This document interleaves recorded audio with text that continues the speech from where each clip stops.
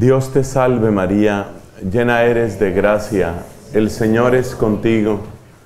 Bendita tú eres entre todas las mujeres, bendito es el fruto de tu vientre Jesús. Santa María, Madre de Dios, ruega por nosotros pecadores, ahora y en la hora de nuestra muerte. Amén. En el nombre del Padre y del Hijo y del Espíritu Santo. Amén. Amigos, quiero contarles que están sucediendo muchos robos. Gracias a Dios, no en este lugar.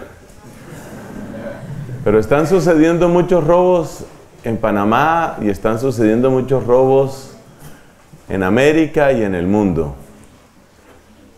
Nos están robando, nos están robando la paz, nos están robando la salud, nos están robando a nuestros niños, nos están robando el futuro.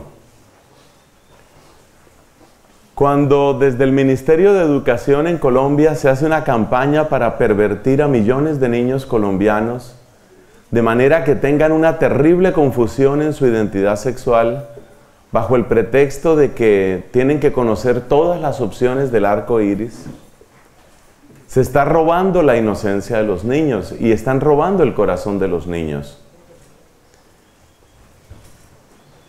Cuando nos enseñan que tenemos que ganar dinero no importa qué haya que hacer, y cuando tristemente resultan incluso algunos panameños muertos por involucrarse en bandas de narcotráfico, les están robando la vida a las familias panameñas.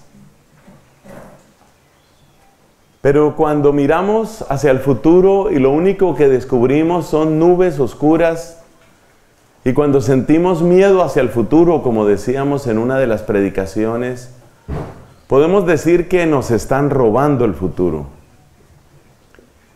Pero hay uno, hay uno que cuida lo que nosotros somos. Hay uno al que yo le intereso. Lo más hermoso para mí, lo más conmovedor, lo que me hizo llorar, cuando veía que ustedes se abrazaban y estaban rezando unos por otros, es darnos cuenta que cuando estamos en Cristo, de verdad, cuando estamos en Cristo, descubrimos, yo le importo a alguien. Y eso es lo que Cristo nos está diciendo desde el fondo de su corazón herido por la lanza. Hasta este extremo he llegado, dice Cristo, porque tú me importas, porque tú eres muy importante para mí. Y eso significa que Cristo se ha comprometido con nosotros para devolvernos la inocencia, para devolvernos nuestro cuerpo, para devolvernos la paz en el corazón, para devolverle la unidad a la familia y para devolverle el futuro a los jóvenes. Cristo se ha comprometido con, nosotros para devolvernos esos tesoros, esos grandes tesoros. Es muy importante que todos, pero especialmente nuestras niñas, especialmente es muy importante, chicas, que ustedes tomen conciencia de que Cristo es aquel que verdaderamente les devuelve la pureza y la paz en su cuerpo. Porque a toda costa el mundo quiere robarles su cuerpo. Quiere robarles su pureza, quiere robarles su virginidad, quiere robarles el pudor. ¿Para convertirlas en qué? Para convertirlas en objetos que se usan y se botan. Qué buen predicador es el Papa Francisco cuando nos enseña que debemos superar la cultura del descarte. Así como nos tomamos una botella de agua y la dejamos en cualquier parte, y atención con el tema del aseo, por cierto, Así como nos tomamos la botella y la arrojamos, así también muchas personas miran a la mujer. La exprimo, exprimo el placer, el gusto que me dé la mujer y luego la arrojo. También pasa ya con algunos hombres. Son explotados, son utilizados y luego ya no me interesas, ya no me importas. Entonces el primer punto, amigos, en esta predicación es darnos cuenta de que nos están robando, pero sobre todo darnos cuenta de que hay uno que es nuestro defensor. Hay uno que se ha puesto de nuestra parte y que está dispuesto a luchar por nuestra causa, a defender lo que es realmente valioso en nosotros. Pasamos al segundo punto en esta charla. Amigos, tenemos que mirar hacia el futuro. Nos han querido robar el futuro. Han querido que hacia el futuro miremos únicamente desastre, ya no hay familia, ya no hay pareja, ya no hay nada.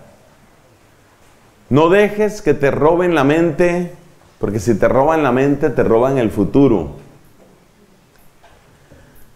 Por eso nos vamos a atrever a presentar cinco, cinco, buena memoria se necesita para esta charla, cinco claves para las familias del futuro. Y yo sigo insistiendo en lo que nos dijo Monseñor Urias. Diferencia entre diversión y felicidad. Porque hay que creer en las familias felices. Y yo no quiero solamente que tú tengas tu familia y que en tu familia todos se porten bien. Yo quiero que en tu familia haya felicidad.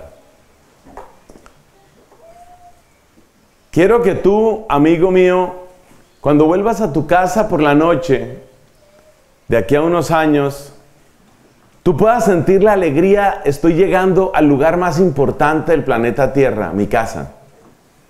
Eso es lo que tiene que sentir un hombre casado. Estoy llegando al lugar más hermoso de la Tierra. Estoy llegando a los brazos de mi esposa. Estoy llegando al cariño, a los besos, a las alegrías, a las sonrisas de mis hijos. Eso es lo que tiene que sentir un hombre.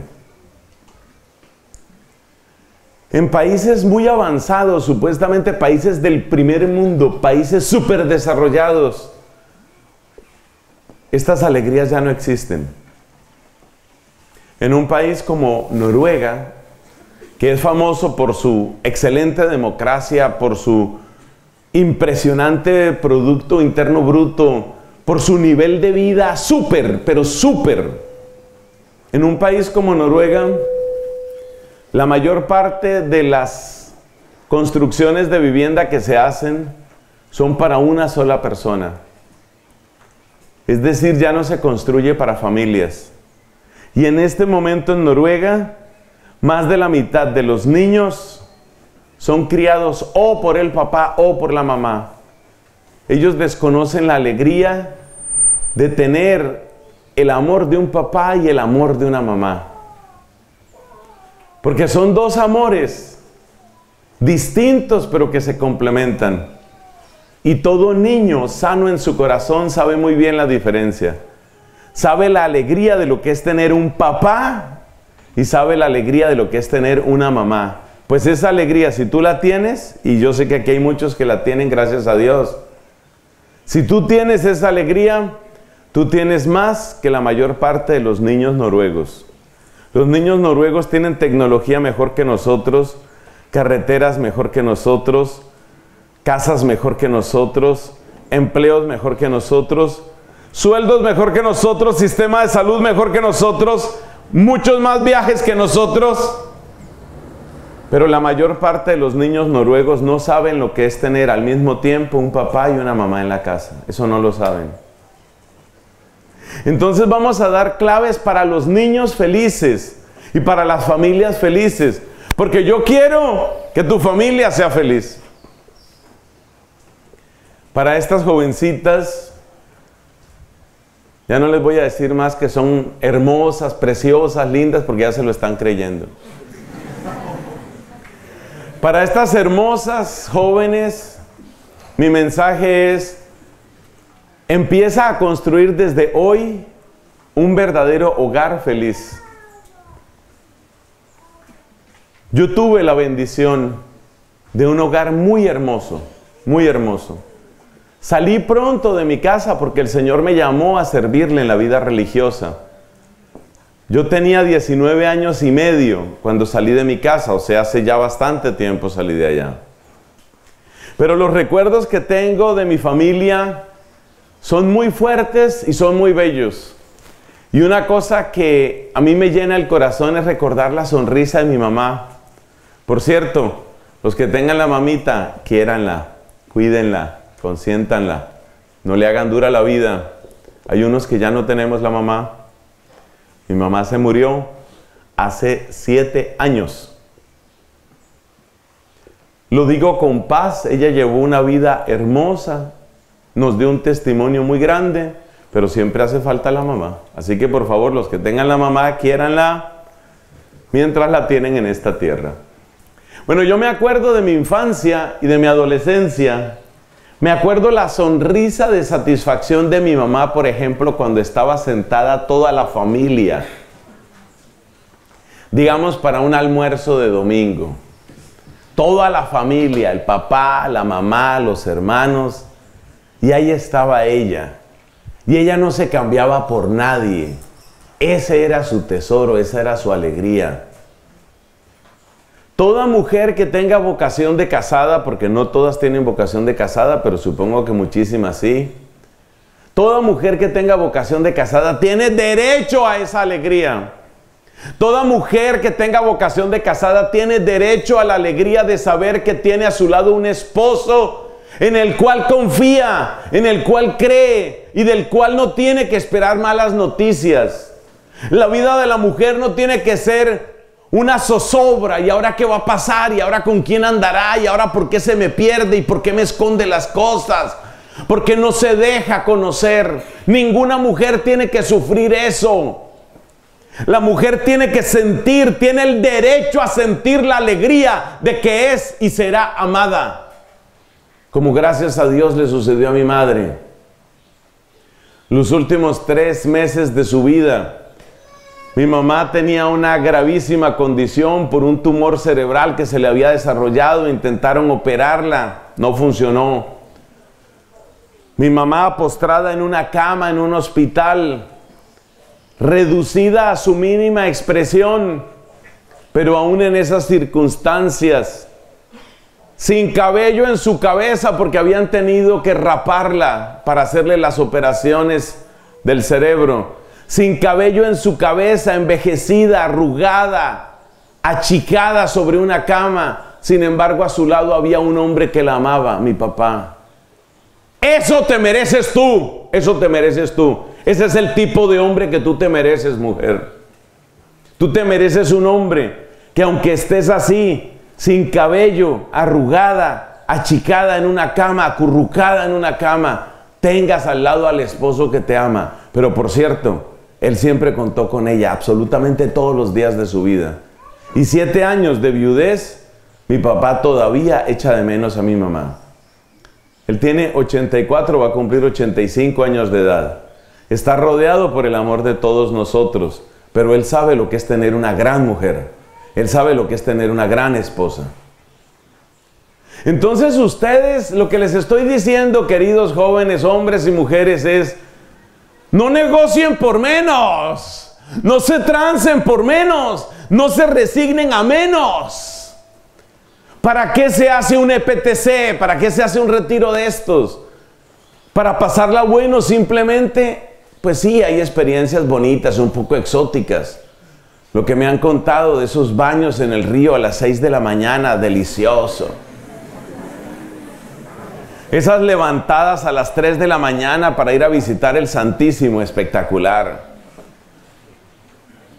Pero ¿para qué hacemos un EPTC? ¿Para qué hacemos este retiro? Para que tú sepas que tienes el derecho y el deber, óyemelo bien, el derecho y el deber de encaminarte hacia esas familias, porque esas familias son las que van a darle un futuro a Panamá. Esas son las familias. Hogares felices, hogares honrados. Todo hombre debe tener la alegría de sentir lo que sentía mi papá en aquella época. Mi papá tenía que viajar dentro del país. Él era durante o fue durante muchos años revisor fiscal de la Contraloría General de la República de mi país tenía que viajar a distintos puntos. A mí no se me olvida la sonrisa de mi padre al llegar a su casa. porque él llegaba a su casa y sentía que llegaba al lugar más importante y al lugar más bello del planeta Tierra. Eso era lo que él sentía. Pero las familias felices, ¿cómo se construyen? Ah, es ahí donde necesitamos cinco, cinco claves, cinco claves sobre cómo se construyen familias felices. Y es aquí donde necesito que pongas mucha atención. Estas cinco claves no te van a servir solamente este año, espero que te sirvan toda la vida. Cinco claves. Vayamos entonces con ellas. Primera, primera de las cinco claves para las familias felices del futuro. Lo que nos han dicho los papas. Juan Pablo II, Benedicto XVI, Francisco, en cada jornada mundial de la juventud y seguramente en el año 2019 en Panamá lo van a repetir. ¿Qué dicen los papas a nuestros queridos jóvenes? ¿Qué es lo que les dicen? Siempre les dicen, ustedes van en contravía. Entonces lo primero, la primera clave es, acostúmbrate, acostúmbrate a que tienes el derecho y muchas veces el deber de ir en contravía. Eso es el primer punto. O sea que aunque el mundo entero diga que es normal asesinar a un anciano porque ya no produce nada más y porque está sufriendo mucho, eso se llama eutanasia. Aunque el mundo entero diga que eso es normal, tú tienes que acostumbrarte a ser distinto. A ser distinta.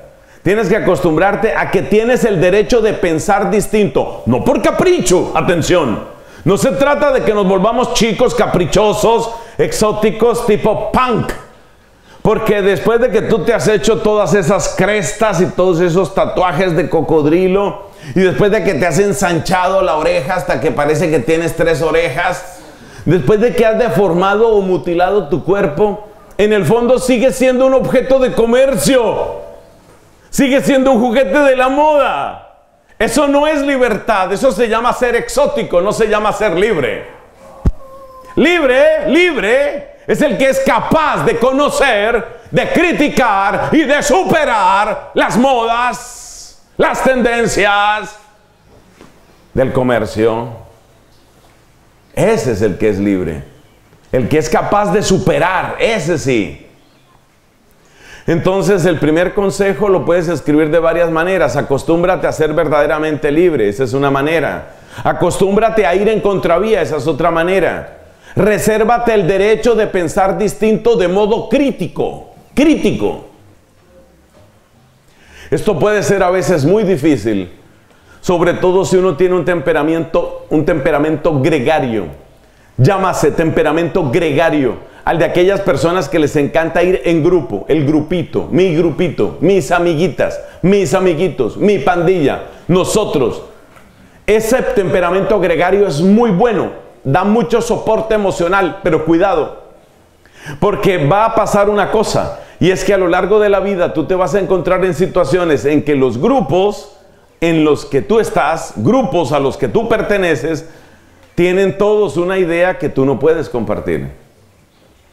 Entonces, claro, mientras uno está en Chiguiría Abajo, mientras uno está en Churuquita Grande, mientras uno está en Penonomé, uno puede conservar muchas ideas porque la gente más o menos piensa lo mismo. Pero el día de mañana tú eres un panameño exitoso que tiene que pertenecer a un grupo de empresarios donde hay norteamericanos, chinos, africanos, europeos y tienen todo tipo de ideas. Y ese es tu grupo, ese es tu grupo de trabajo, esa es tu gente. Y hay que acostumbrarse a que en ese grupo más allá de mis amiguitos, más allá de mis socios, más allá de mi gente, yo tengo el derecho de pensar distinto. Nosotros los cristianos tenemos un ejemplo impresionante de lo que significa sostenerse en un pensamiento distinto. Tenemos un testimonio impresionante en la comunidad judía. Hay que aprender de los judíos, porque los judíos precisamente han tenido gran conciencia de que ellos son el pueblo elegido, tienen una gran conciencia de que Dios los llamó y los separó. Dios nos llamó y nos separó de otras naciones. Nosotros somos los elegidos. Cuando el Altísimo, dice el libro del Deuteronomio, cuando el Altísimo daba a cada pueblo su heredad, repartiendo el número de las naciones según el número de los hijos de Dios, la porción del Señor fue su pueblo, Jacob fue su heredad. O sea, ellos tienen conciencia de que nosotros somos de Dios, los judíos. Lamentablemente hay mucho judío que prácticamente ha perdido la fe y apenas conserva un vínculo político de conveniencia o económico con el resto de la comunidad judía. Pero también hay judíos que tienen una gran convicción religiosa y aunque por supuesto lo que yo deseo es que todos ellos encuentren al Señor Jesucristo, mientras eso sucede por misericordia de Dios hay cosas que podemos aprender de ellos. Recuerdo una entrevista que le hacían a una joven mamá, joven mamá judía. Pero para hablar de aquellos judíos que son realmente practicantes de su religión, se utiliza la palabra ortodoxo. Los judíos ortodoxos son los judíos que realmente siguen practicando lo que dice la Biblia y siguen con una fe viva en Yahvé y en el pueblo elegido y todo eso. Esos son los judíos ortodoxos. Entonces, en un programa de la cadena de radio BBC, la cadena nacional de radio de Inglaterra, en un programa de radio entrevistaban a una mamá judía. Esta mujer no tenía más allá de 30 años. Para que ustedes se hagan idea de cómo educan las mamás judías a sus hijos, pues te comento cosas como estas. Los judíos utilizan una especie de solideo. Tú has visto los gorritos, decimos, que utilizan los obispos, eso se llama solideo.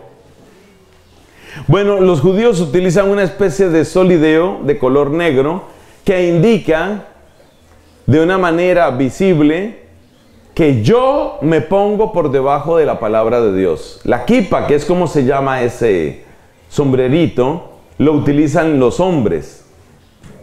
Y resulta que ese sombrerito lo que indica es, Dios está encima de mí y yo estoy debajo de Él. Y su palabra tiene poder sobre mí y yo le hago caso a su palabra. Eso es lo que significa ese gorrito que ellos se ponen. Y las mamás a niños tan pequeños como los que están por aquí de estas edades, pero eso solo se lo ponen a los varones, a niños así pequeños, les ponen su gorrito, les ponen su kipa. ¿Por qué? Porque los niños tienen que acostumbrarse desde pequeños a que ellos están bajo la palabra de Dios. Entonces tal vez te haya pasado, resulta que tú te encuentras en un aeropuerto, por decir algo, pues porque a mí me ha sucedido, es el lugar donde me ha sucedido, y tú ves al papá judío, a la mamá judía, y tú ves a los niños y los varones desde los 5 o 6 años de edad ya tienen su gorrito. Por supuesto, ¿qué significa eso? Que si ese niño va en el aeropuerto, un lugar donde transita gente de todas las religiones, todos los credos, ateos, si ese niño va en el aeropuerto, pues el niño tiene que darse cuenta de que él es el único que utiliza el gorrito, él y sus hermanitos. ¿Qué es lo que le está diciendo la mamá al niño judío con eso? ¿Qué es lo que le está diciendo? Tú eres distinto. Tú eres distinto. Tú no tienes que ser igual a los demás. Por supuesto, tú eres distinto no significa tú eres un fracaso, sino exactamente lo contrario. Tú estás llamado a ser exitoso. Y si ustedes miran los negocios de los judíos en el mundo, yo creo que estamos todos de acuerdo en que son bastante exitosos, a veces demasiado exitosos. Entonces le preguntaban en el programa de radio, le preguntaban a la mamá, ellos viven en Inglaterra, estos judíos, le preguntaban a la mamá judía, ¿usted cómo hace para educar a sus hijos en eso? O sea, como son practicantes de la ley de Moisés, ustedes saben lo que manda la ley de Moisés, por ejemplo, manda que no se come cerdo. Eso era para la ley de Moisés, eso no es para nosotros. Pero como ellos creen en la ley de Moisés, porque son judíos ortodoxos, practicantes, Entonces le preguntaban a la mamá, ¿usted cómo hace para enseñar a sus hijos esas cosas? O sea, estamos viviendo en Londres, siglo XXI, y usted tiene que enseñarle a un niño que no coma salchichas de cerdo porque son de cerdo. ¿Usted cómo hace para eso? ¿Usted cómo hace para enseñarle al niño que el día sábado, porque ellos guardan el sábado de una manera muy estricta, ¿Cómo hace para enseñarle al niño que el día sábado, por ejemplo, no se monta en bicicleta o cosas como esas, sino que al contrario hay que ir a la sinagoga? ¿Usted cómo hace? ¿Cómo lo logra? Le preguntaban a esta mamá. Respuesta de la mamá, les repito, una mujer que no tiene 30 años de edad, una mujer que ya tenía tres o cuatro hijos, porque ellos saben que hay que tener hijos. El que no tenga hijos deja que le invadan el país. Es lo que está pasando en Europa. Los que no tienen hijos les invaden el país, así de sencillo. Alemania necesita entre 1 y 2 millones de inmigrantes por año para mantener su ritmo de producción. El que no tiene hijos le invaden el país. La única manera de conservar la tierra es tener hijos. Entonces, los judíos saben que hay que tener hijos, los judíos ortodoxos saben que hay que tener hijos. Y entonces esta mujer a los 30 años de edad ya tiene tres o cuatro hijos y a todos los está educando así, y a las hijas, por supuesto. Y vuelve la pregunta, ¿usted cómo hace? ¿Cómo lo logra? Respuesta de la mamá judía ortodoxa. Es que desde el día número uno les he enseñado a mis hijos, primero, que ellos no tienen que ser como nadie. Oiga eso. Ellos no tienen que ser como nadie. Y segundo, que a nosotros nos ha elegido y nos ha bendecido Yahvé. Entonces, la primera enseñanza que está bastante aprendida de gente como estos judíos, la primera enseñanza es lo que nos han dicho los papas. Eso tampoco me lo estoy inventando yo, eso ya lo dijo Juan Pablo II. Lo dijo Juan Pablo II en la gran jornada mundial de la juventud en Toronto. Lo dijo en Roma unos años después. Lo repitió Benedicto en Colonia, lo dijo Francisco en Aparecida. Es decir, todos nos lo han dicho. Acostúmbrense jóvenes a que hay que saber andar a contracorriente. Y acostúmbrense a que hay que hablar a los hijos de eso. Sí, pero es que todo el mundo lo hace. Todo el mundo son ellos, no somos nosotros. Nosotros tenemos el derecho de ser distintos. Una vez más insisto, no por capricho. Entonces, son cinco consejos, cinco consejos. Consejo número uno, el consejo número uno es acostúmbrate a ir contracorriente, enseña a tus hijos a que tendrán que ir a contracorriente, porque tus hijos se van a encontrar con este tipo de cosas. Claro, cuando uno les habla a adolescentes y les habla de los hijos, ponen así como cara de que hijos, ¿cuáles hijos? ¿Cómo así que hijos? Pero la vida pasa muy rápido, muy rápido. Y es necesario que desde ya sepas que esto llegará a tu vida. Entonces, primer consejo, ten presente que hay que enseñar, hay que vivir tú mismo y hay que enseñar a tus hijos, nosotros no tenemos que ser iguales. Hay mamás cristianas, muchas de ellas protestantes, que están teniendo que utilizar las mismas técnicas judías en lugares de Estados Unidos como el estado de Colorado. El estado de Colorado en los Estados Unidos tiene la tristísima fama de ser el primer estado donde se legalizó la marihuana. Y las barbaridades que han sucedido en el estado de Colorado muestran para qué sirven estas leyes de legalización o estas leyes que aprueban esa clase de consumo llamado recreativo. Realmente es la misma historia de todas las leyes que violan el orden natural. Lo que les interesa a los que impulsan esas leyes es abrir una pequeña rendija y una vez que abren la pequeña rendija, luego la ensanchan. Entonces siempre cuando van a aprobar el aborto, que dicen? Pero oye, en un caso de violación, pobre niña que fue violada, permítanle abortar.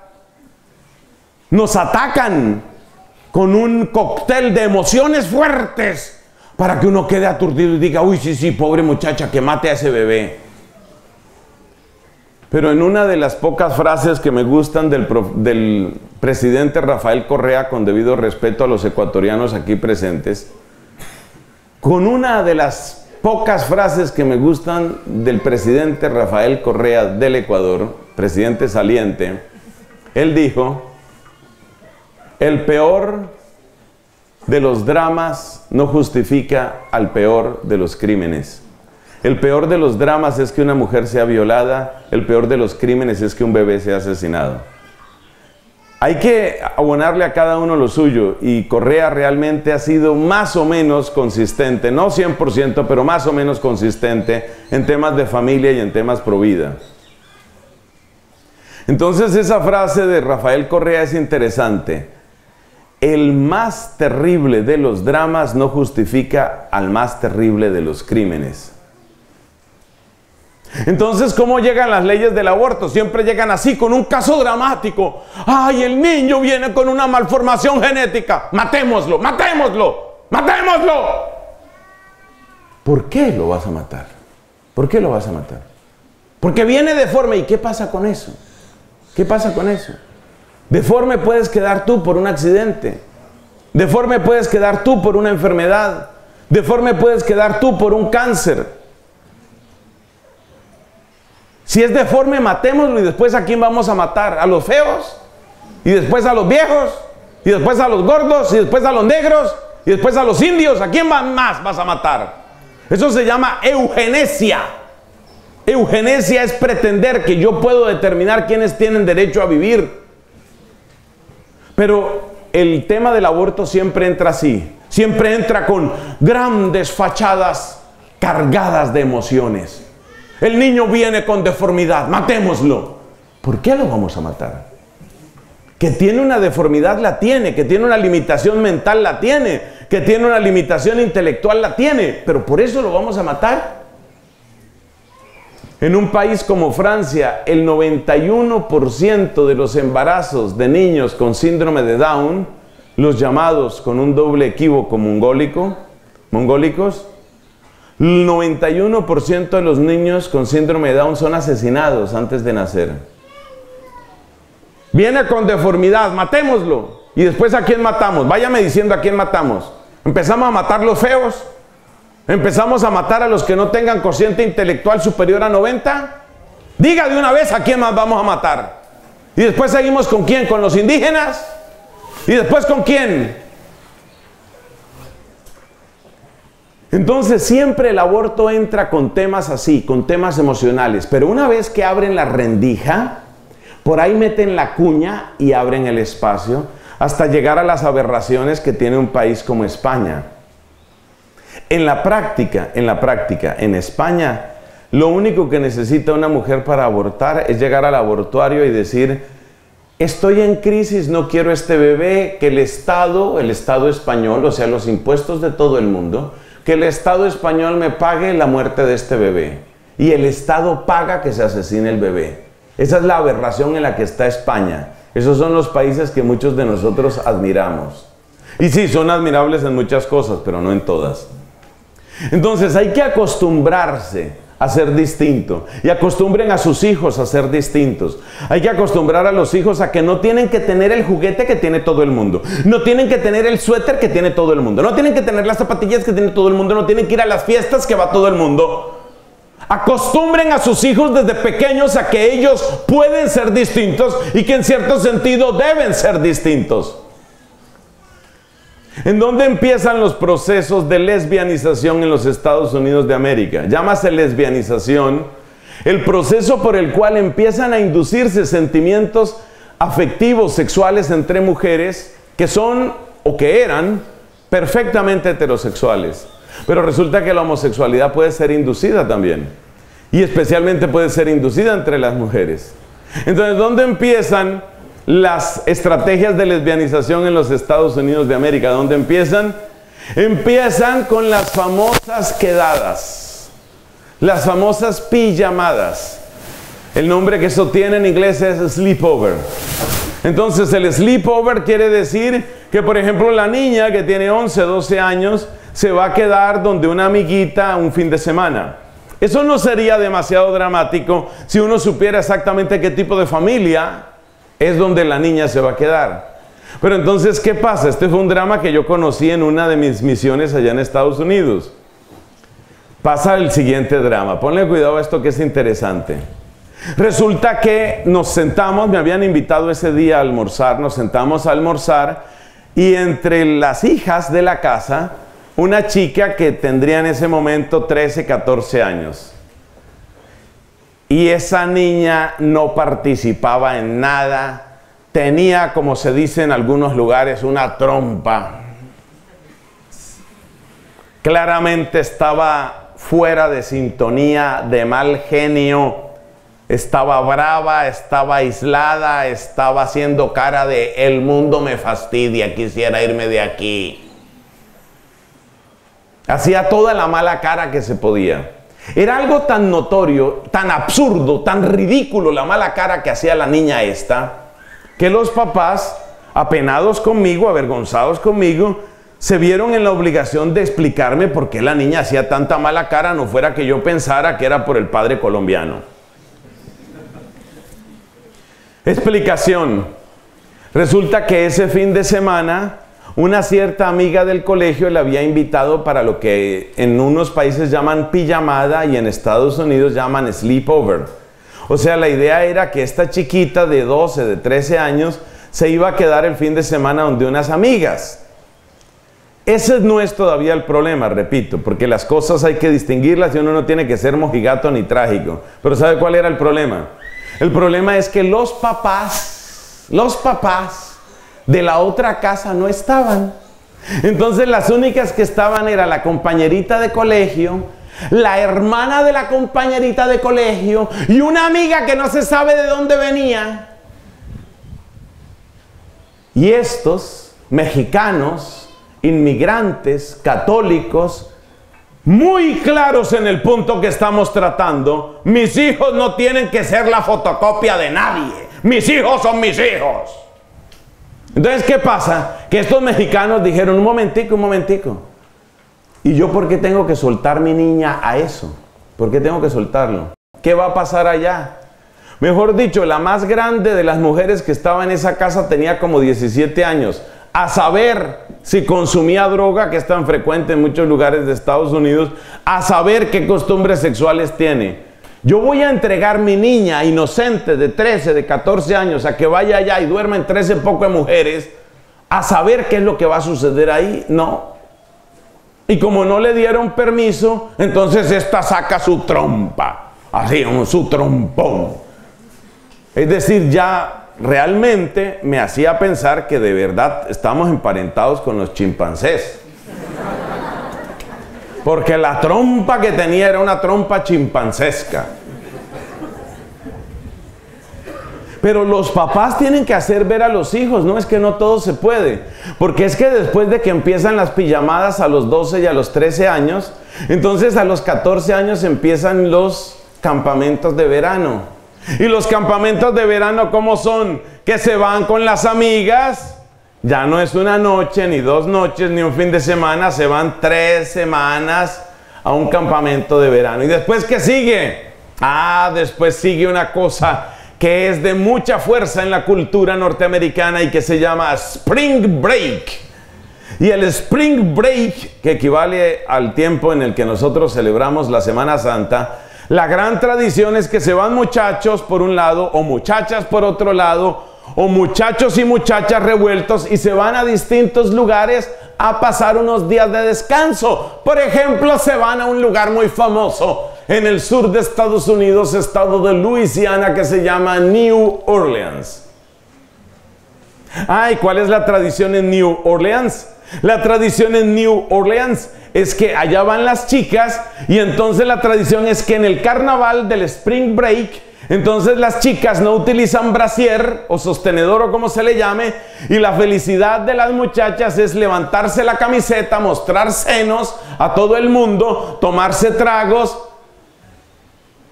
Yo, se pregunta el mexicano, yo tengo que entregar mi hija a eso. Mi hija tiene que pasar por todo eso para ser verdaderamente mujer y para ser verdaderamente moderna y para ser verdaderamente norteamericana y para ser verdaderamente normal. O sea que si mi hija no ha estado mostrando senos en New Orleans, si mi hija no se ha emborrachado y ha amanecido vomitada por allá en una casa en Baton Rouge, en una calle en Baton Rouge o donde sea, si mi hija no ha pasado por la droga, entonces no tuvo juventud, no tuvo infancia. Ustedes me perdonan que yo sea un poquito rudo, un poco crudo en las cosas que estoy describiendo. Yo soy consciente de que hay muchos menores de edad aquí, pero es que en la edad que estamos y con el internet que tenemos, mejor hablar las cosas como son. Porque una vez le pasó a un papá que iba a hablar con el hijo. El papá, unos 40 años de edad, el hijo, unos 11 años de edad. Y el papá, después de dar muchas vueltas, le dice al hijo, Hijo, yo creo que es importante que tengamos una conversación sobre educación sexual. Y le dice el hijo, bueno, ¿qué quieres saber, papá?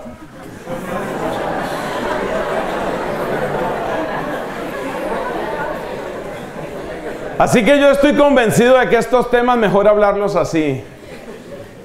Y estoy convencido de una cosa. Escúchenmelo las mujeres porque el ataque sobre todo contra ustedes. En los países como Estados Unidos y muchos otros hay violentos procesos de lesbianización. Tratar de producir confusión en identidad sexual en las mujeres.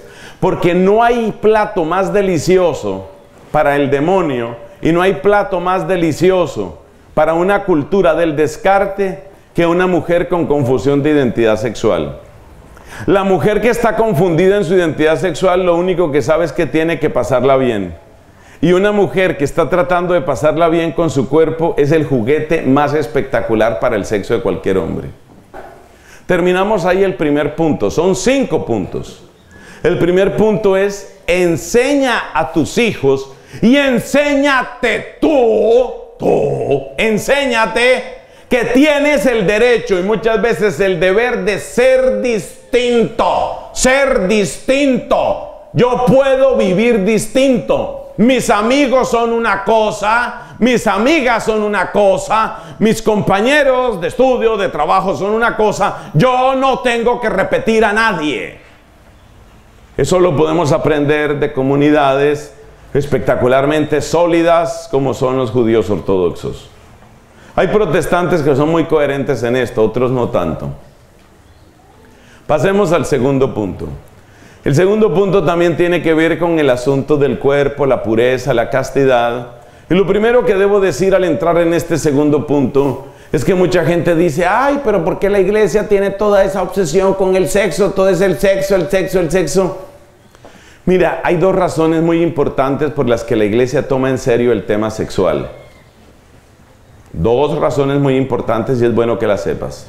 La primera, porque es que resulta que el sexo produce gente. Como el sexo produce gente, entonces el sexo es muy importante. Porque resulta que si la gente que se produce luego no queremos que exista, la matamos. Como el sexo produce gente, eso también quiere decir que todo el futuro de la humanidad pasa por esa dimensión tan hermosa, porque todo lo que Dios hizo es hermoso. Toda todo el futuro de la humanidad pasa por la dimensión sexual. Esa es la primera razón. Porque el sexo produce gente. ¿Y la segunda cuál es?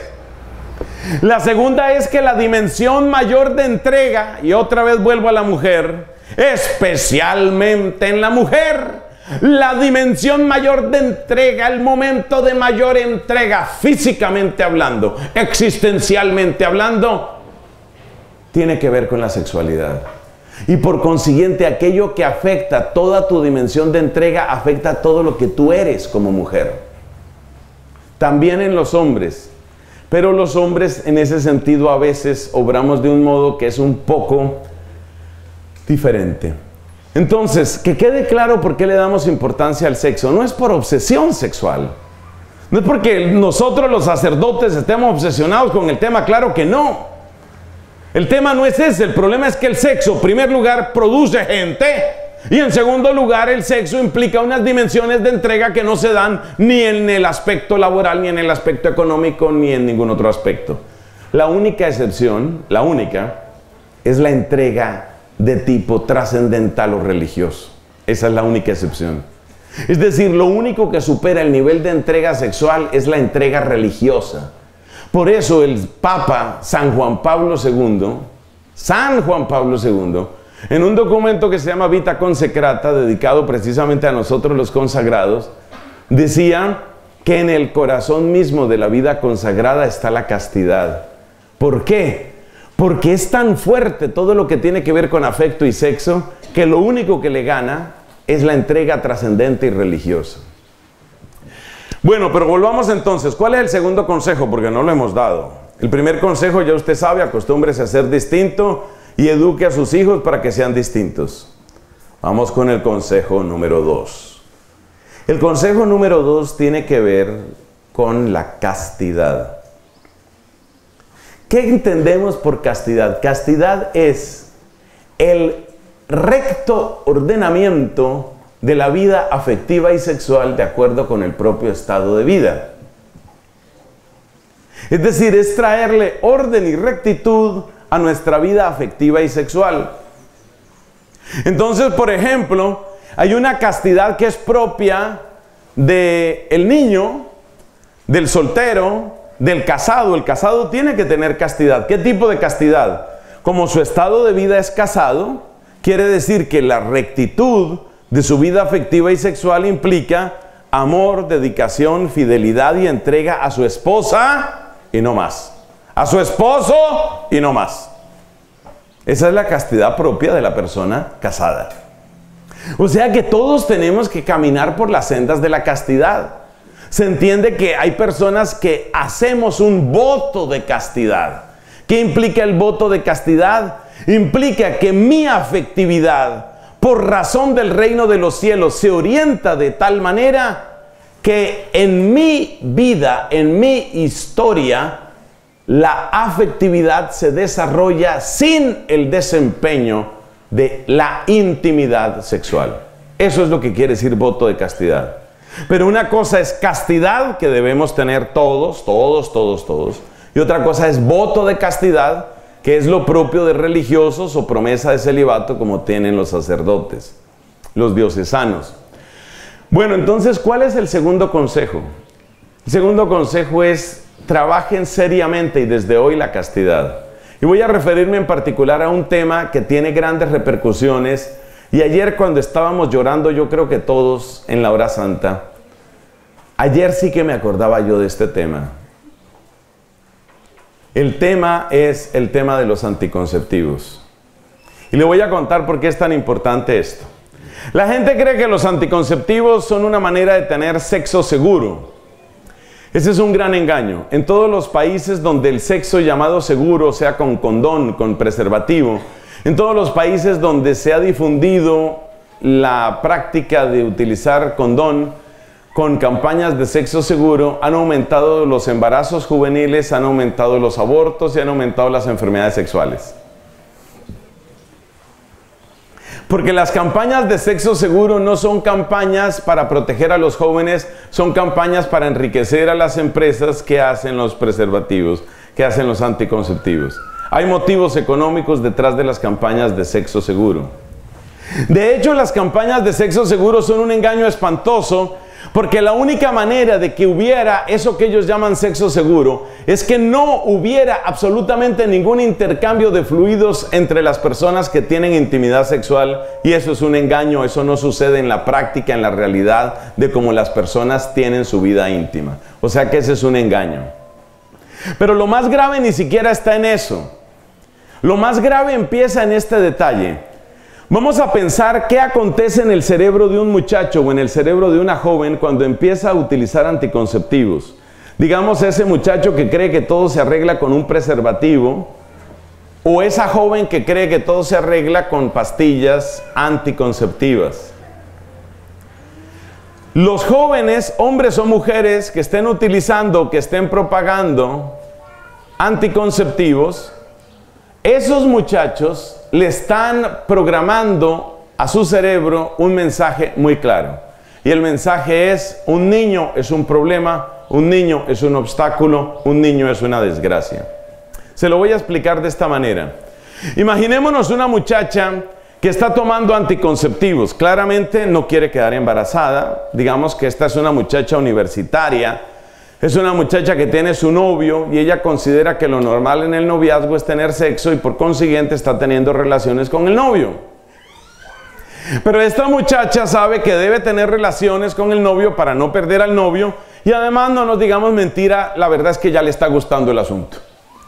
O sea, ya no es solamente el novio, ya también ella le gusta porque es normal, porque eso, eso así está hecho el cuerpo humano del hombre y de la mujer. Es absolutamente normal eso.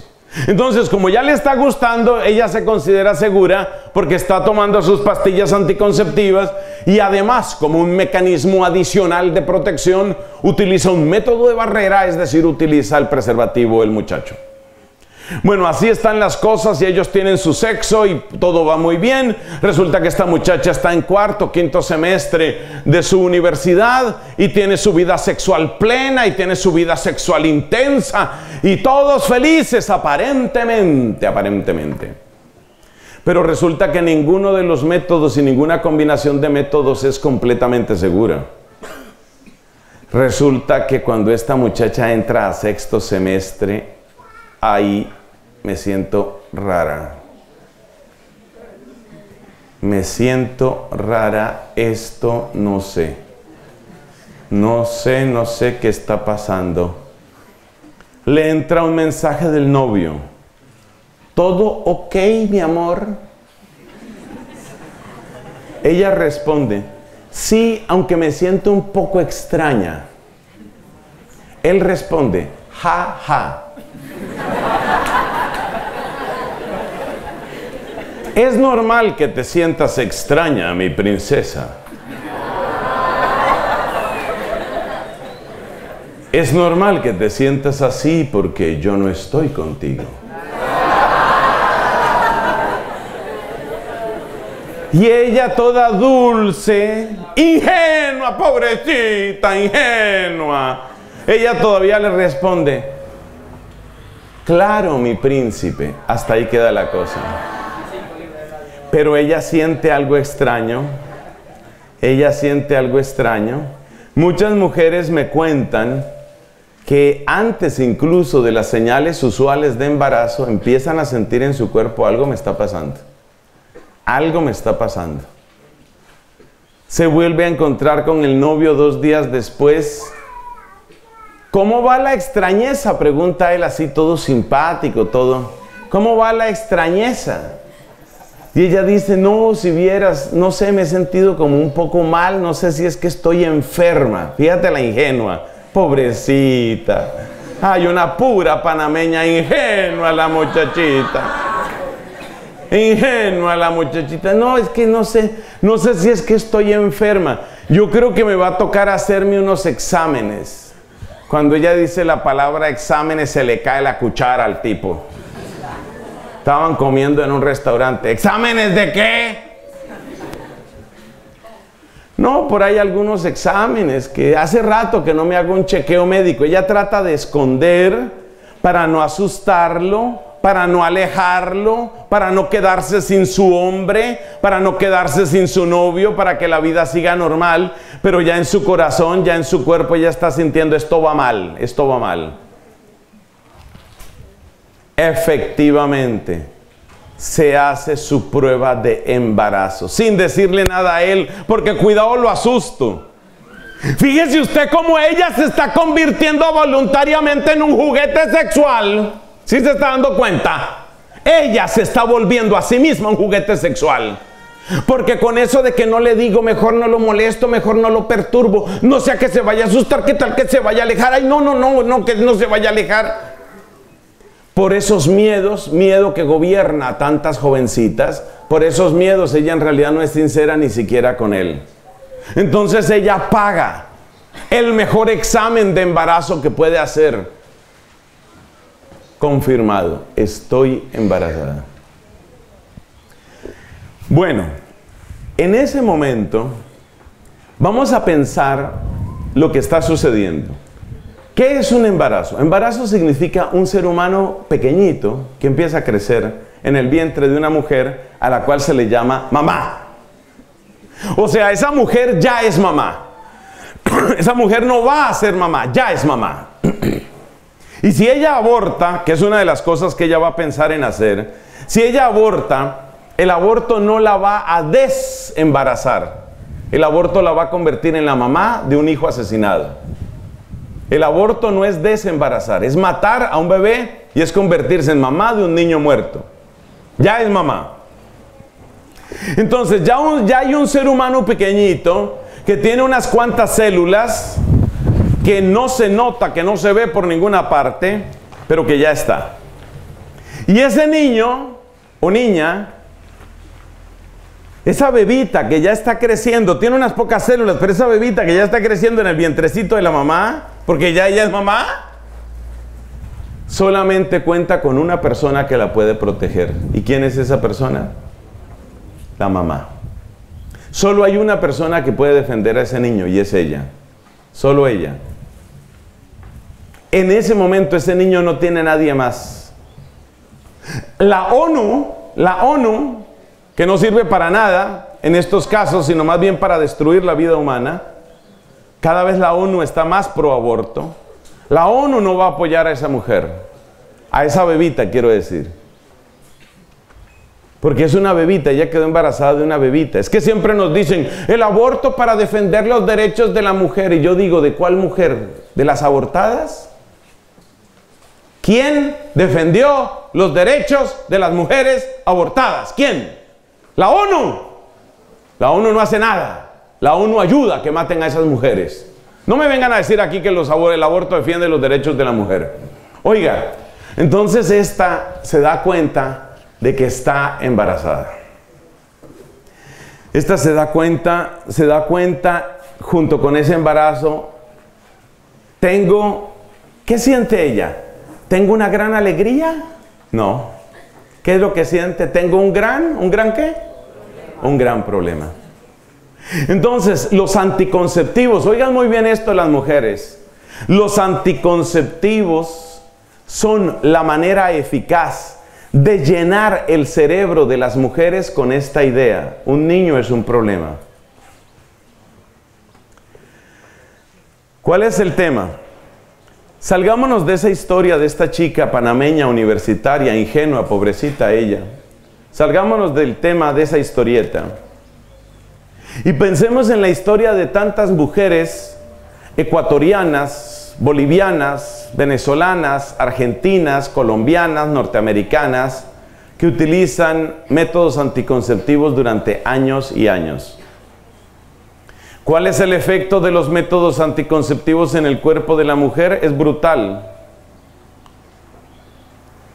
Todos los anticonceptivos tomados en forma de hormonas, o sea, de pastillas, adelgazan y endurecen la piel interior, la membrana interior, la pared interior de la matriz de la mujer.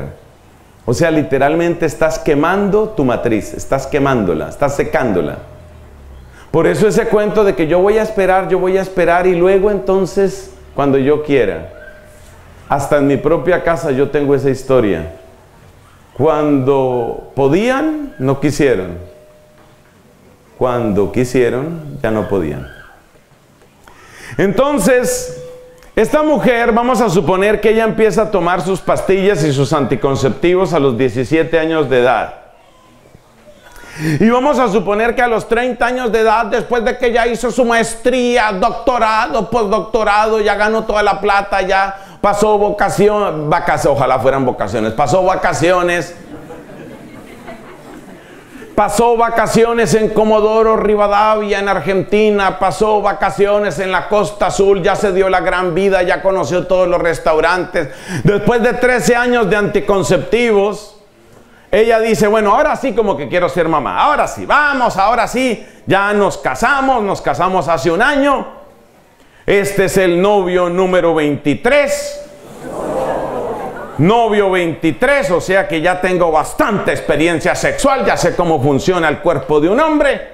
Novio 23, a la 23 llegó la vencida. Entonces, ahora sí voy a ser mamá. Ya tengo 31 años, 14 años de anticonceptivos, voy a ser mamá.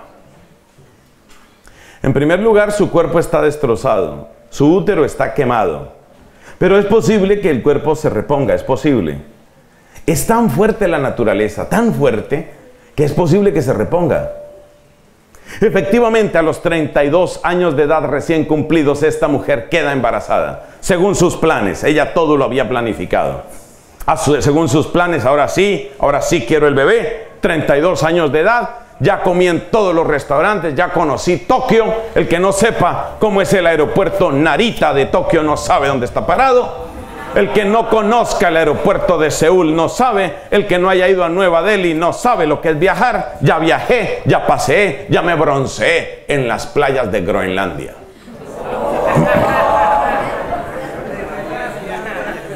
O sea, junto a un oso polar. Bueno, la muchacha, póngale cuidado que esto es interesante. ¿Qué le pasa a la muchacha? La muchachita a los 32 años de edad tiene su bebé. ¿Qué es lo primero que hace al tener su bebé? Recordemos lo que hacen las musulmanas. ¿Qué hace una muchacha musulmana cuando tiene un bebé? Lo primero que hace es, así como salió el bebé, lo acerca a su pecho y a su boca y le dice las siguientes palabras al bebé. Solo Alá es Dios y Mahoma su profeta. Eso hace la musulmana. La musulmana quiere asegurarse de que las primeras palabras que haya oído su hijo son la proclamación de la fe islámica. Solo Alá es Dios. Eso hace la musulmana. ¿Qué hace la católica? La católica acaba de tener su bebé. ¿Qué hace? Se toma un selfie.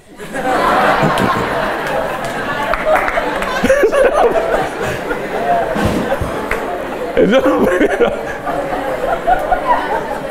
Eso es lo primero que hace la católica.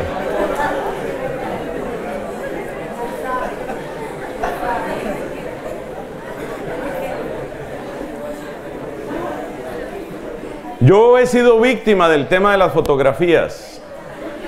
No tanto en mi infancia, porque en esa época no existían los selfies sino después yo he sido víctima de las fotografías. Yo era bastante más moreno, pero a base de fotos y fotos me han ido destiñendo.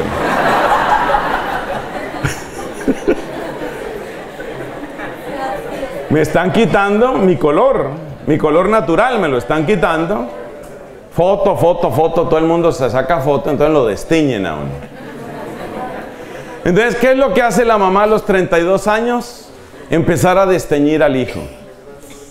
O sea, fotos y fotos. El niño parpadeando, el niño babeando, el niño se va a dormir, niño en su charco de vómito, niño con diarrea. Ustedes no han entrado a esos perfiles de Facebook donde tienen 35 álbumes, álbumes 35 álbumes y todos son del mismo niño. Pero siempre es el hijo mayor. Porque eso está demostrado también. El hijo mayor se lleva entre el 60 y el 70% de las fotos de una pareja. 60 y 70%. El hijo segundo se saca como otro 20%, mucho menos. Y para los demás hijos queda un 10%. Entonces, por ejemplo, yo fui el hijo número 3.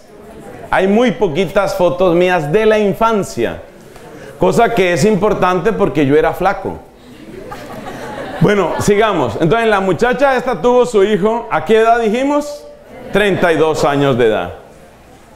Y entonces empieza a sacarle fotos como una desesperada, a llenar tarjetas micro SD, a llenar las tarjetas, a llenar las tarjetas, a llenar su, ¿cómo se llama? Su almacenamiento en la nube. Entonces el iCloud lo tiene repleto de fotos y tiene las fotos del Drive y tiene las fotos del Dropbox y tiene las fotos y fotos del niño por todas partes. El niño, el niño, ra, ra, ra, el niño. aparentemente, oiga, aparentemente quiere al niño. Aparentemente. Pero los niños tienen malas costumbres. Y es que un niño más o menos hasta los dos años de edad es bastante parecido a un muñequito. Con algunas diferencias. Por ejemplo, los muñequitos no requieren pañales, los niños sí. Un muñequito no come tanto como un niño. Hay niños que comen como descosidos. Entonces, hay, hay diferencia entre los niños, entre los niños y los muñequitos. Pero más o menos hacia el final del segundo año de vida el niño empieza a convertirse en una fuente de problemas en la casa. Porque el niño se mueve mucho, porque el niño camina, el niño corre, el niño tumba cosas, el niño rompe cosas, el niño se rompe. El niño avanza, se echa encima el jarrón chino del año 800 antes de Cristo. Entonces, claro, la mamá lamenta muchísimo, adivinen qué. El jarrón dice Ay, no. Terrible, terrible.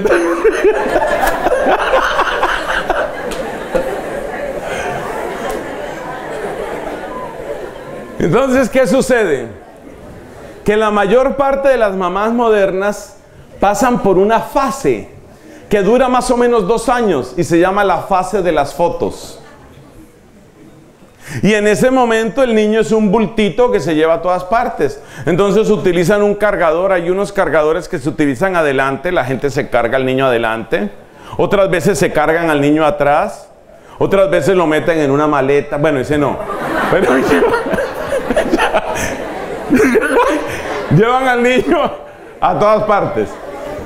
A partir de los dos años de edad, el niño es una complicación. A partir de los dos años de edad, ¿qué hacen los papás? Hay que mantener entretenido al niño. ¿Cómo se mantiene entretenido al niño? Tabletas, tabletas y tabletas. Celulares y juegos.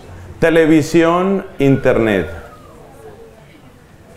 Los que tienen manera de pagarlo se consiguen una nodriza, una persona que les ayude a criar al niño. Pero la mayor parte de los papás y mamás modernos, cuando ya el niño dejó de ser un juguete, empiezan a llenarlo de juguetes para que esté ocupado, para que se mantenga entretenido. Estadísticas recientes de Francia demuestran que los niños, oiga esta cifra, la mayor parte de los niños de tres Tres añitos. O sea, ya pasaron la fase de las fotos. La mayor parte de los niños de tres años de edad pasan más tiempo al día con una pantalla que con un ser humano. A los tres años de edad. Eso puede parecer como, bueno, esa es la condición en que estamos, esos son los signos de los tiempos, o sea, eso es lo que está pasando, en todas partes sucede eso. No te resignes tan fácil, no te resignes tan fácil. ¿Sabes lo que significa esa cifra? significa que ese niño ya es un estorbo para el papá, para la mamá. Por eso también la necesidad de meterlo a alguna institución educativa, llámese jardín, sala cuna, lo que sea. Llámese, a ver, ¿dónde? O sea, ¿dónde me mantienen al niño? Que el niño no altere mi agenda, que el niño no altere mi tiempo, que el niño no altere mis metas, mis fines, mis propósitos en la vida. ¿Y sabe qué es lo grave de esto? Que luego esos niños crecen y un día llegan a EPTC. ¿Y sabe qué es lo que muchos niños de EPTC sienten? Pero este es un lugar privilegiado. Aquí es donde menos pasa esto. Este es un lugar bendito. Ay, para lo que a mí me ha tocado ver. Este es un lugar bendito. Este es un lugar precioso. Pero mire lo que sucede. Esos niños, criados a base de tabletas, que apenas presentan un desorden de indisciplina, llévenlo al psiquiatra.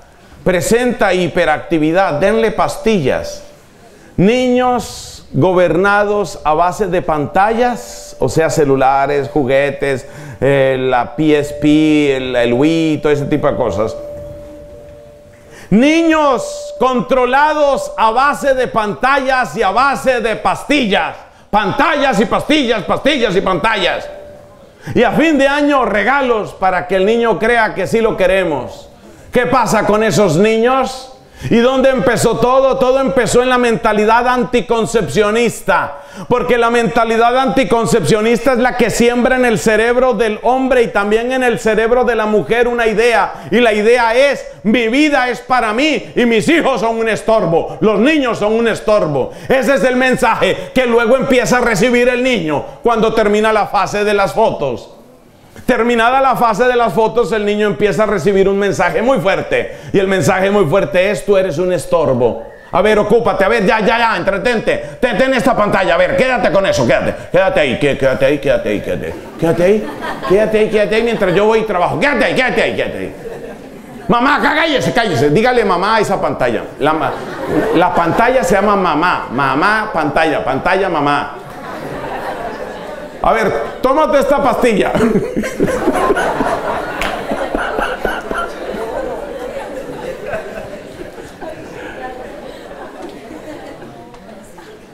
¿Qué es el niño? Un estorbo. Entonces le tiran la pastilla desde lejos, que considere la pantalla a la mamá y que en el colegio me lo mantengan ocupado. En el colegio tienen que hacerle todo, en el colegio tienen que educarlo, en el colegio tienen que sacar de él un hombre de bien y sobre todo una persona que no me ponga problemas. Yo no quiero problemas. Esa es la manera de ver las cosas los papás. Ahora, ¿cómo ve las cosas el muchacho? El muchacho se siente solo. El muchacho se siente estorbo. El muchacho siente que no vale el muchacho siente que sobra en todas partes. Y ahí tenemos una de las causas más graves de delincuencia juvenil, de problemas psiquiátricos y de desastres matrimoniales. Entonces, por eso la castidad es tan importante. Por eso la castidad es tan importante, hermanos. Porque si tú aprendes a ser dueño de tu cuerpo, hombre, si tú aprendes a ser dueña de tu cuerpo, mujer, y hacerlo respetar, van a preparar ese tiempo que se llame hogar. Y aquí pasamos al tercer consejo, que es muy sencillo. El tercer consejo, ¿cuál es? Mira, si vas a tener pareja, dale tiempo a tu pareja. Si vas a tener hijos, dale tiempo a tus hijos. Dale tiempo a tus hijos. Hay una historia impresionante que conocí en Estados Unidos de un señor que era gerente de una empresa en crecimiento. No era muy grande, pero estaba creciendo. El hombre trabajaba muchísimo. Un día el hijo se acerca a las nueve de la noche, se acerca donde el papá y le dice, papá, ¿tú cuánto ganas por hora? El papá que estaba ocupado llenando unos cuadros de unos presupuestos y que tenía trabajo por lo menos hasta medianoche y al otro día tenía que levantarse a las 5 de la mañana, se encuentra con un hijo que le pregunta que cuánto gana por hora. Hijo, yo no sé, no sé cuánto puede hacer. Eh, últimamente me subieron el sueldo, qué sé yo, como 30, como 35 dólares, creo que una cosa así, 40, no sé. Ponle 40 dólares por hora, estoy ganando. Sí, un gerente, estamos hablando de un gerente. Un gerente de una empresa en crecimiento. Entonces, ¿qué pasa? Como 40 dólares por hora. El hijo se va. A la otra semana vuelve el hijo. Papá, he estado ahorrando. Aquí tengo 80 dólares. ¿Me puedes dar dos horas?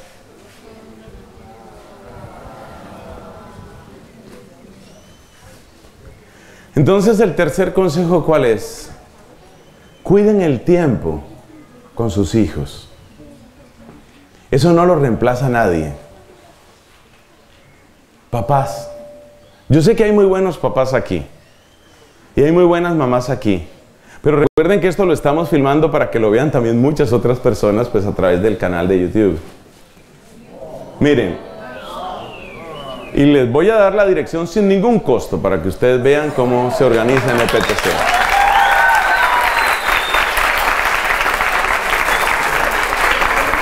Oiga, mire, tiempo. Lo más valioso que tú tienes no es tu dinero, es tu tiempo. Porque el dinero a veces se puede recuperar. En cambio, una hora de tu tiempo jamás la podrás recuperar.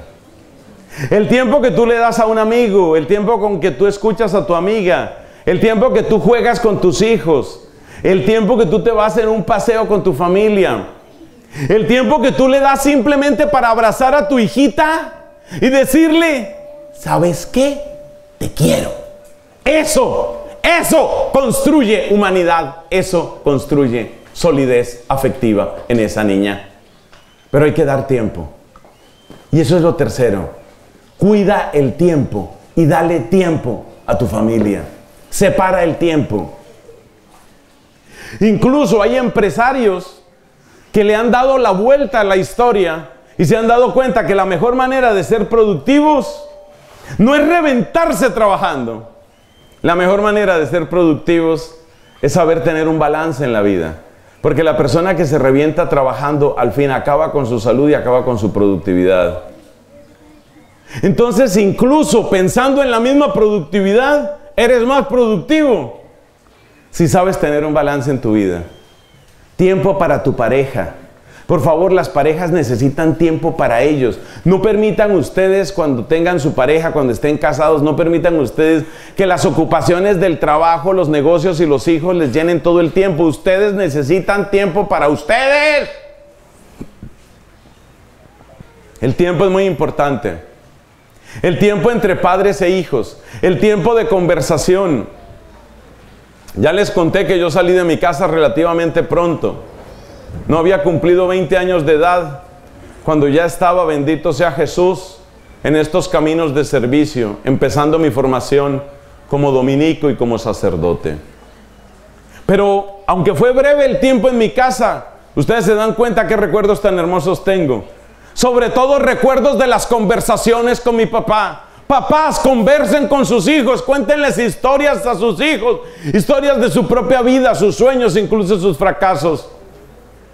Yo me acuerdo de mi papá hablándonos, contándonos cosas de cómo había vivido él su juventud, de cuando él prestó el servicio militar, hasta me acuerdo el año, 1953 estaba prestando mi papá su servicio militar en la carrera séptima con calle 106 de la ciudad de Bogotá estaba mi papá. Yo me acuerdo de esos detalles y me los contó hace 40 años. Yo me acuerdo de eso. Gasten tiempo con sus hijos. Por favor, hay que superar la tiranía de las pantallas.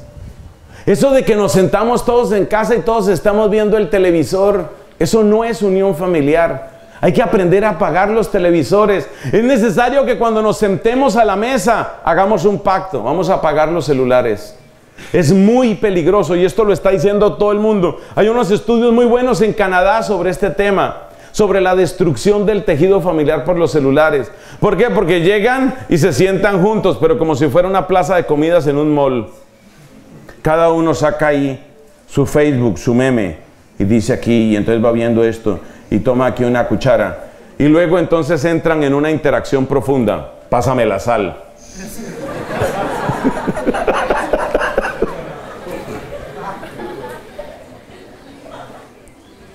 Hay que saber apagar el celular. Hay que saber desconectarse. Me llamó la atención que cosas que la Santa Iglesia Católica ha recomendado hace mucho tiempo, incluyendo este servidor de ustedes, Ahora las están recomendando psicólogos. Mire, aquí tengo grabado un artículo. Aquí tengo grabado un artículo. Mire, esto se llama, ustedes se ríen cada vez que yo pronuncio inglés, creo que no les gusta mi pronunciación. Mire, este es un artículo escrito por Benjamin Hardy y se llama Things You Need to Recover from Every Day. Cosas que usted necesita. Cosas que usted necesita para recuperarse cada día. Aquí lo tengo. Aquí lo tengo, que se vea en pantalla. Mira, ahí lo tengo. Este señor se llama Benjamin Hardy. Bueno, este señor, este señor no es un sacerdote católico. Él no está predicando doctrina católica y sabe lo que le dice a las parejas. Saquen el televisor de su habitación. Lo que asesina la conversación entre las parejas se llama el televisor. Y después del televisor, lo segundo que acaba, mutila y destruye la conversación entre las parejas se llama el celular. ¿Por qué? Porque están acostados juntos, pero espalda con espalda. Porque este está actualizando su estado y el otro está actualizando su estado. ¿Qué pone esa mujer ahí?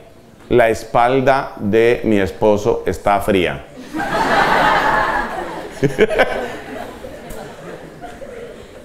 apaguen, apaguen. Son pareja, conversen, apaguen. Aprendan a estar juntos, conversen con sus hijos, salgan con sus hijos, abracen a sus hijos. Entre comillas, pierdan tiempo con sus hijos. Ese es el tercer consejo. Vamos para el cuarto porque esto se va a acabar, señoras y señores. Ánimo que esto no es eterno. Cuarto. Cuarto punto. Es que ya los últimos puntos son más corticos porque los difíciles serán los primeros. Cuarto punto. Cuiden la oración en familia, por favor. La oración en familia. Hay un lema que se practica por todas partes. Yo lo he visto en muchos países, bendito sea Jesús. Familia que ora unida. Ve, aquí también lo conocen. Entonces yo miro, por ejemplo, a la señora Emilce. ¿Dónde estaba la señora Emilce? ¿Qué se hizo? Yo miro a la señora Emilce y anda por ahí un señor Iván. Iván te llama, ¿cierto? Y casi siempre salen aquí con una hijita, tiene que ser, ¿cierto? ¿Cómo se llama la hijita? Heidi. A Keitel. Yo creo que más o menos en unos cinco ensayos más ya la pronuncio. Ellos salen con la, con la hijita. Mire, a mí esto me encanta. A mí esto me encanta. Esto es bello. Mire, un hijo, una hija, tiene que tener en su álbum de recuerdos de la memoria, yo vi a mi papá orar. Les voy a contar por qué es tan importante que ustedes varones, hay una gran cantidad de varones aquí, les voy a contar por qué es tan importante que ustedes varones oren. Y oren delante de los hijos y vayan a la iglesia con los hijos. Se lo voy a explicar muy sencillo. Cuando un niño es pequeño, cuando una niña es pequeña, no hay nadie más grande en el mundo que su papá. Mi papá es mi héroe, mi papá puede todo. Nadie pesa tanto como mi papá.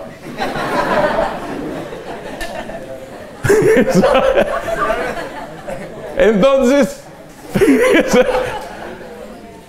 para un niño, para una niña, el papá es lo máximo. Vamos a decirlo metafóricamente. Para un niño, su papá es Dios, metafóricamente. ¿Qué pasa? Que si ese papá va a la iglesia con los hijos y si ese papá se arrodilla ante Jesús, fíjate la catequesis que le está dando. Óiganme bien, señores. Fíjate la catequesis que le está dando a los hijos. Mi papá es lo máximo, eso está fuera de discusión. Mi papá es lo último, lo máximo. Mi papá sabe todo, mi papá puede con todo. Y mi papá se arrodilla delante de Jesús. Y ahí sí como hacen ustedes. ¡Wow! Delante de Jesús. Entonces, ¿cómo será Jesús? Esa es la catequesis. Y esa catequesis solo la puede dar el varón. Eso le toca a ustedes los hombres. La mamá no tiene el mismo efecto. ¿Por qué no tiene el mismo efecto? Eso es largo de explicar, pero básicamente tiene que ver con el timbre de la voz. Tiene que ver con el timbre de la voz. El timbre de la voz femenina es demasiado próximo al timbre de la voz infantil, demasiado próximo. Es distinto, pero es demasiado próximo.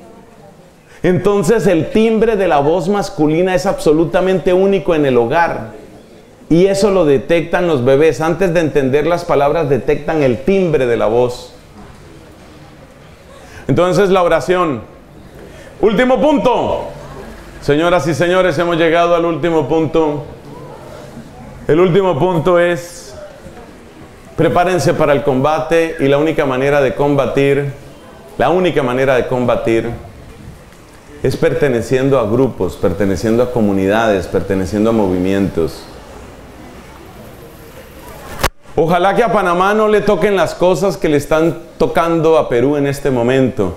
En Perú han tenido que organizar un movimiento, gracias a Dios va bastante exitoso, con el patrocinio discreto pero muy eficaz de la Santa Iglesia Católica.